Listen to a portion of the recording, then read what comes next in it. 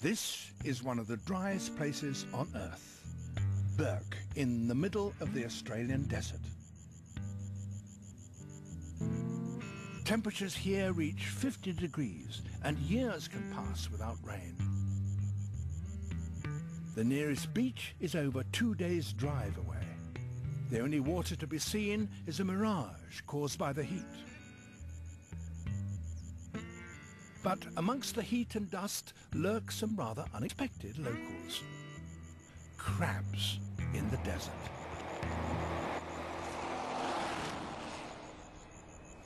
These special agents have infiltrated this barren land. So how do they survive without water and in temperatures that could cook a crab alive?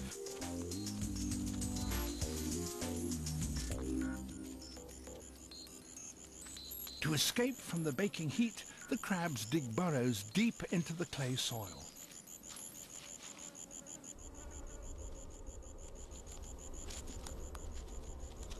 During the drought, the crabs seldom leave their burrows. They can survive years without food and the loss of almost half their body water. But even they need a way to replenish water supplies. And for the best drinking opportunities, they have to wait until the evening.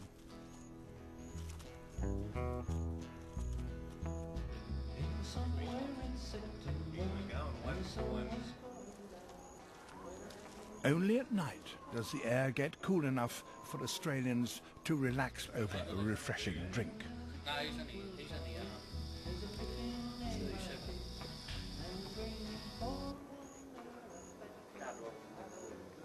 Crab also leaves its burrow to sit under the stars and wait.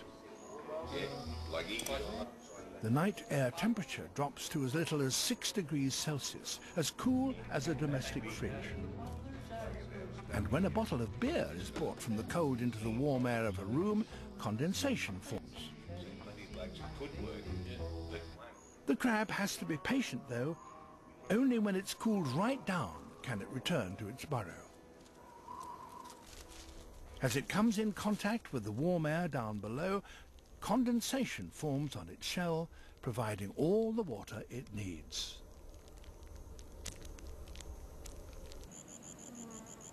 But simply staying alive is not enough.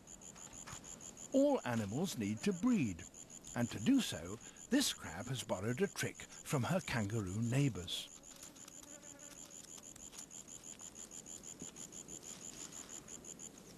Every few years, the dry landscape undergoes a radical change.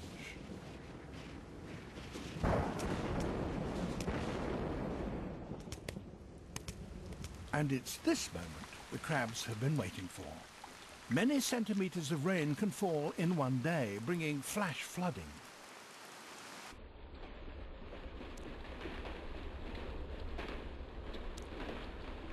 Months ago, the female desert crab laid her eggs into a pouch. But now there's been a transformation. Protected in her pouch, her eggs have hatched and grown into baby crabs. And this is the secret of her success. Instead of trekking back to the sea, the female just needs to release the babies into pockets of floodwater where they can fend for themselves. And the well-advanced babies have got a better chance of surviving even when exposed to this tough new world.